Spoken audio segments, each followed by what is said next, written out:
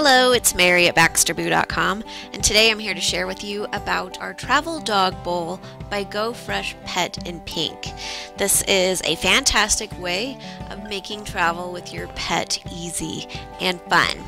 And what's great about this is you simply unzip the the travel bowl and it's actually a set of bowls so you can have one for food and one for water. And even though it's fabric, it's still waterproof and it's easy to clean by rinsing it out. So this is just a really handy way of going camping um, for quick day trips anywhere visiting friends, and it comes with a handy little clip so you could easily attach it to your belt loop, your backpack, your luggage, and it's perfect for vacationing and is just a nice way of traveling with your pet. And then when you're done, it folds down nice and compact for storage.